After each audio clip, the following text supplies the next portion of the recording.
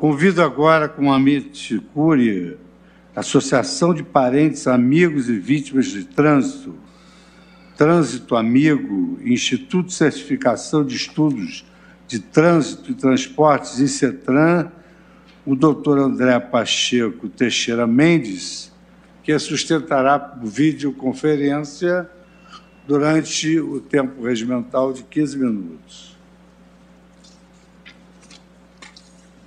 Excelentíssimo senhor presidente, excelentíssimo senhor relator, excelentíssimas senhoras ministras, senhores ministros, douto PGR, douto AGU, colegas advogados, advogadas, demais presentes.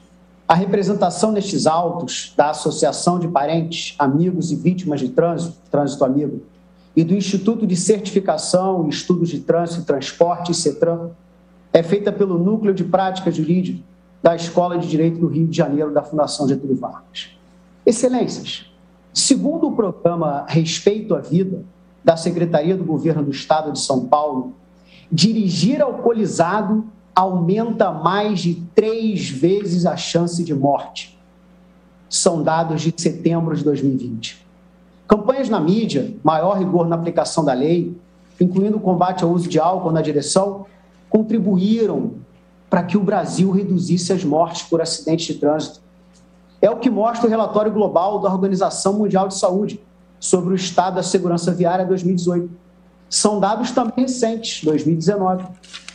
A presente ADI tem por objetivo a declaração de inconstitucionalidade de dispositivos da lei seca, em especial dos artigos 2 e 5 incisos 3, 4 e 1. A lei tem um objetivo claro: reduzir os acidentes de trânsito e a mortalidade decorrente de motoristas que dirigem embriagados. É disso que se trata, excelências. Reduzir riscos, proteger vidas. O que as organizações Trânsito Amigo e CETRAN pretendem reforçar aqui, excelências, e contribuir com a decisão deste egrégio tribunal é que, um, a proibição de venda de bebidas alcoólicas em estabelecimentos próximos a estradas, muito longe de violar a isonomia, é proporcional e razoável. Dois, a norma que sujeita o condutor a penalidades para qualquer quantidade de álcool encontrada no sangue de motoristas passa no teste de proporcionalidade. Três, a norma constante do artigo 306 do Código de Trânsito, sobre a qual já foi mencionado aqui, o crime de embriaguez, de embriaguez ao volante, ainda que ele se verifique abstratamente, não contraria os princípios constitucionais do direito penal. Quatro, as normas que impõem penas àqueles que se recusam a realizar o teste de bafômetro não violam garantias de direito constitucional. Não quero ser aqui é, cansativo com suas excelências, mas não se trata de sanção penal, mas sim administrativa. As punições impostas não violam a presunção de inocência, nem obrigam o condutor a fornecer provas contra si mesmo, uma vez que apresentam, em verdade, uma proteção maior à sociedade. E, cinco, excelências, a opinião pública é francamente favorável à lei seca. Esse dado é fundamental para o debate público e a tomada de decisão dessa egrégia corte. Excelências, o artigo 2 da lei seca, que proíbe a venda de bebidas alcoólicas nas estradas, não viola o princípio da igualdade. Vender bebidas em estradas é diferente de vender bebida nos centros urbanos.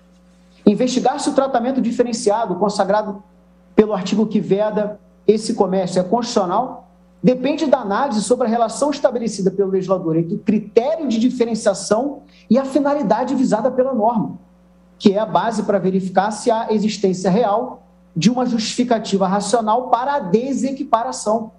E há excelências. O critério diferenciador é o local do estabelecimento.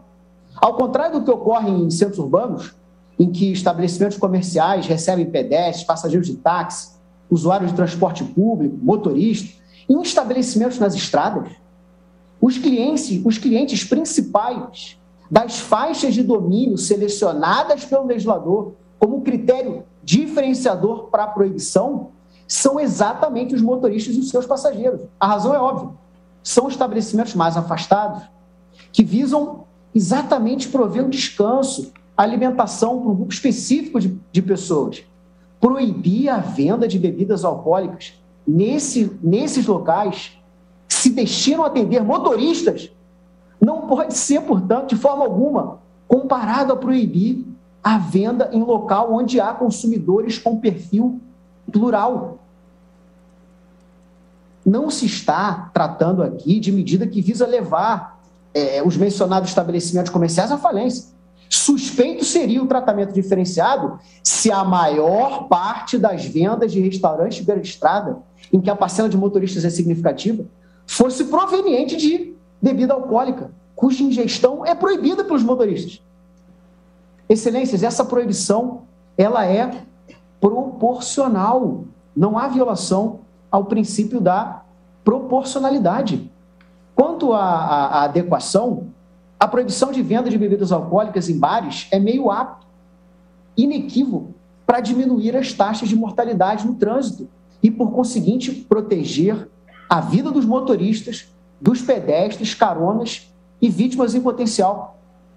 Quanto à necessidade, excelências, essa medida normativa ela é essencial para o alcance do resultado. Não há um meio alternativo que promova os objetivos alcançados pela lei. Não há uma alternativa do poder público. E quanto à proporcionalidade em sentido estrito, as restrições causadas pela lei não violam a livre iniciativa, porque essa, essa compressão da livre iniciativa é compensada pelo ganho com a proteção da incolumidade pública das pessoas, que é o objetivo maior de proteção da lei seca. Excelências, é, eu não quero cansar, cansá-los e cansá-las, mas eu não poderia deixar de fazer uma ponderação sobre a política nacional eleita pelo legislador quanto ao limite de álcool no organismo humano. Essa política definida foi de tolerância zero. Foi uma decisão do legislador, e aqui me antecedeu o brilhante é, doutor Hugo Leal, que participou da gestação da norma em comento. O que se está aqui a defender, é, excelências, de forma alguma, é a, a, digamos assim, dizer que a tolerância zero impede que uma pessoa consuma um bombom alcoólico, um bombom com licor ou um antisséptico bucal, com todo respeito ao argumento que me antecedeu, as milhares de mortes anuais decorrentes pela combinação explosiva álcool e volante não decorre do consumo de bombom, de licor e antisséptico bucal. Então, esse compromisso de proteção da vida humana assumido pelo legislador, de tolerância zero com o consumo de álcool no volante, tem angariado resultados extraordinários para a vida humana nesse tempo em que a lei tem estado em vigor, e assim se espera que continue. Também, não, não quero ser repetitivo, é, não há violação ao direito à não autoincriminação pelo fato da infração administrativa correlata à embriaguez no volante, não se trata de crime, é fundamental e já foi aqui muito bem destacado pelos colegas que me antecederam Tratando-se de uma infração administrativa, não há que se discutir aqui o princípio do direito à não autoincriminação. Agora, particularmente com relação ao artigo 306, ao crime de embriaguez ao volante, aqui a gente também está diante de uma escolha do legislador, agora com relação a uma técnica de, de criminalização de condutas. O legislador escolheu criminalizar a embriaguez ao volante recorrendo à técnica do perigo abstrato, em que o perigo ao bem jurídico é presumido pelo legislador. E isso não é novidade no nosso direito penal, isso está presente nos crimes de drogas, nos crimes relativos às armas, no Estatuto do Desarmamento. Então, temos aqui uma escolha do legislador que se escudou na técnica dos crimes de perigo abstrato. Não há nenhuma inconstitucionalidade, e assim tem decidido também esse egrégio tribunal.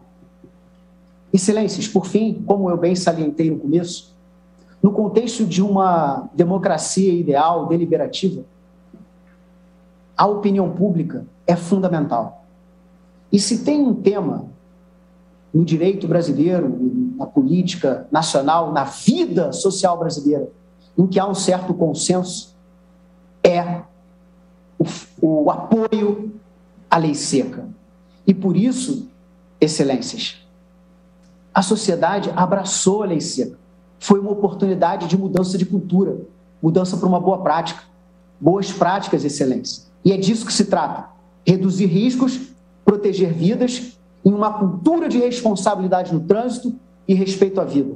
Portanto, as organizações Trânsito Amigo e CETRAN esperam que seja julgado improcedente a presente ADI e, bem assim, fortalecida a lei seca. Muito obrigado, excelências.